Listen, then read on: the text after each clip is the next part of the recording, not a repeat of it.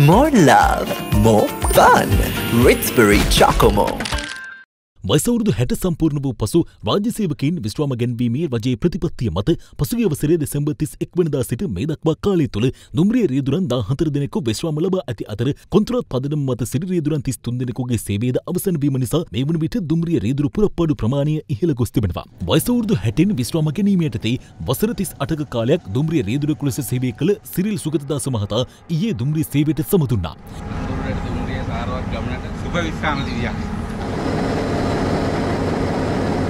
මෙවන් පසුබිමක දුම්රිය දෙපාර්තමේන්තුවේ රේදුරු හිගේ දිනෙන් දින ඉහළ ගියත් ඒ සඳහා නවක බඳවා ගැනීම හෝ නිසිපත් කිරීම සිදු කිරීමට බලධාරීන් අසමත් වීම තුළ අද දිනේදී කොළඹ සිට මඩකලපුව බලා දහවනය වීමට නියමිතව තිබූ දුම්රිය සහ ප්‍රදේශීය දුම්රිය ගමන් වාර 24ක් අබලංගු කර තිබෙනවා. වසර 4.25ට නානුවේ බලා ධාවනය වීමට නියමිත දුම්රිය අද දින ධාවනය නොවන බව මගින් කරුණාවෙන් සැලකන්න. අපිට සිද්ධ වුණා කොළඹ කොටුව සිට මඩකලපුව දක්වා ධාවනය වන දුම්රිය ඉතිහාසයේ පළවෙනි වතාවට අවලංගු කිරීමට. ප්‍රමාද වූ උසස් වීම් ලබා දීම සඳහා ලබා දිය යුතු විධිමත් අනුමැතිය ලබා දීමේ ප්‍රමාදය නිසා අද දුම්රිය සේවා පවත්වාගෙන යාමට බාධා එල්ල වෙලා තිබෙනවා. ගරු ඇමතුමාටත් එවැගේම රාජ්‍ය සේවා කොමිෂන් සභාවටත් මේ தත්ත්වය උද්ගත වෙන බව අපි ඊටාම පැහැදිලිව සඳහන් කළා. නමුත් එයිට සාධනීය පිළිතුරක් නොලැබීමේ ප්‍රතිඵලය හැටියට අද දුම්රිය සේවාවාර අවලංගු වෙමින් මගින් අති පීඩාවට පත් වෙලා තිබෙනවා. ප්‍රාදේශීය දුම්රිය ගමන්වාර කිහිපයක් පමණක් අවලංගු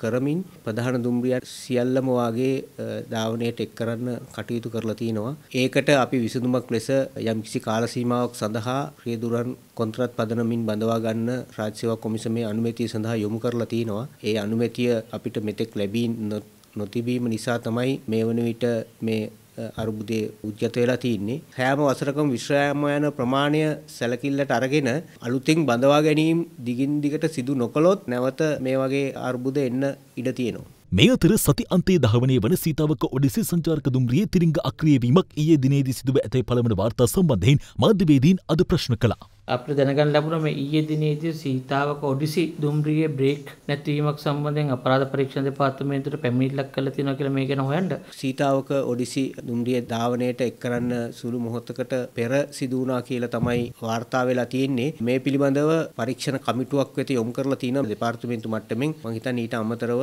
අපරාධ පරීක්ෂණ දෙපාර්තමේන්තුවෙනුත් මේ සම්බන්ධයෙන් පරීක්ෂණයක් කරනවා කියලා දැනගන්න ලැබිලා තියෙනවා. අද දෙරන YouTube නාලිකාව YouTube අද දෙරන දැන්ම සබස්ක්‍රයිබ් කරන්න.